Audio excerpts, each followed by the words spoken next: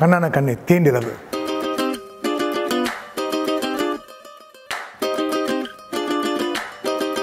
முழுக்க முழுக்க காதல் நிறைய ஒன் ஹவர் ஸ்பெஷல் உங்கள் சன் டிவியில் வரும் ஞாயிற்றுக்கிழமை ரெண்டு மணிக்கு. காண தவறாதீர்கள்.